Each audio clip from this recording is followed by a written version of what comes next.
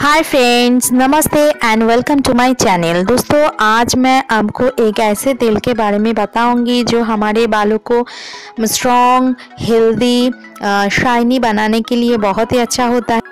दोस्तों, ये तेल बनाने के लिए हमें चाहिए स्वीट आमंड ऑयल मैं यहाँ पर डाबर रोगन बादाम शरीन का इस्तेमाल कर रही हूँ और चाहिए विटामिन ई कैप्सूल मैं यहाँ पर ईवीएन 400 विटामिन ई कैप्सूल का इस्तेमाल कर रही हूँ। सबसे पहले कांच के बोल में लगभग one tablespoon almond oil मैं डाल लूँगी उसके बाद एक सेफ्टी पिन के मदद से विटामिन ई e कैप्सूल पर छेद करूँगी और कैप्सूल में जो एक्सट्रैक्ट है, वो मैं निकाल लूँगी।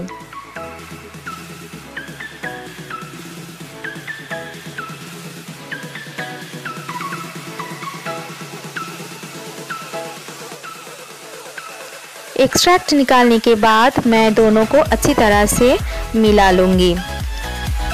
दोस्तों आमंड ऑयल हमारे बालों के लिए और हमारी स्किन के लिए बहुत ही अच्छा होता है, क्योंकि इसमें है omega three fatty acid vitamin E K B complex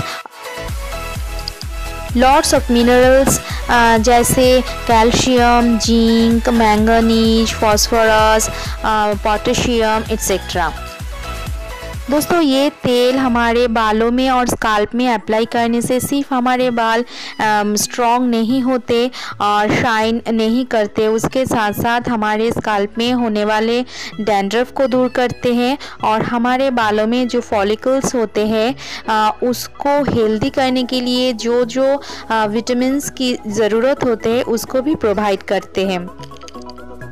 दोस्तों, अभी मैं आपको दिखाऊँगी कि कैसे ये तेल हमारे बालों में अप्लाई करना है। सबसे पहले मैं मेरे बालों को अच्छी तरह से कंगी कर लूँगी और उसके बाद मैं मेरे फिंगर टिप के मदद से मेरे स्काल्प पर पहले ये तेल अप्लाई करूँगी।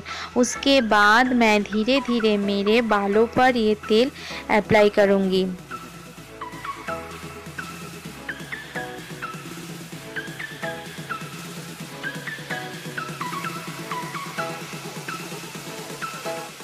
दोस्तों बालों पर कैसे तेल अप्लाई करना है और तेल मसाज करना है इसके ऊपर मेरा दो वीडियो है। आप चाहें तो देख सकते हैं उसका लिंक मैं मेरे डिस्क्रिप्शन बॉक्स में दे दूँगी। दोस्तों अभी मैं फिंगर टिप के मदद से स्काल पर अप्लाई कर रही हूँ। अभी मैं आ, उसको सर्कुलर मोशन में थोड़ा मसाज करूँगी।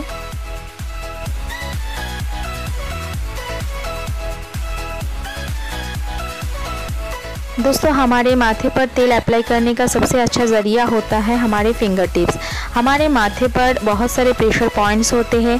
अगर हम हमारे फिंगर टिप्स की मदद से बाल स्काल्प पर तेल अप्लाई करें तो जो प्रेशर पॉइंट होता है, वहाँ पर प्रेशर पड़ते हैं और इससे हमारे स्काल पर ब्लड सर्कुलेशन अच्छा होता है और ब्लड सर्कुलेशन अच्छा होने से हमारे बालों का जो वॉल्यूम है उसमें इंक्रीज़ होता है, बालों का जो ग्रोथ है उसमें इंक्रीज़ होता है और हमारे हेयर रिलेटेड बहुत सारे प्रॉब्लम हैं जो दूर होते हैं।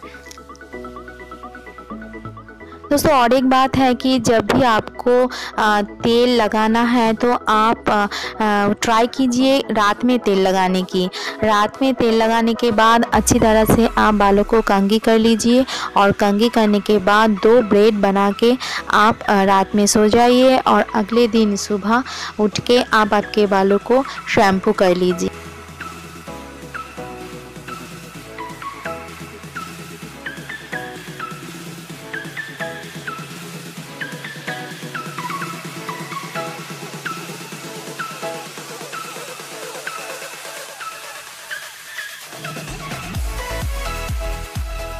दोस्तों स्काल्प पे तेल अप्लाई करने के बाद मैं अभी मेरे बालों पर तेल अप्लाई करूँगी।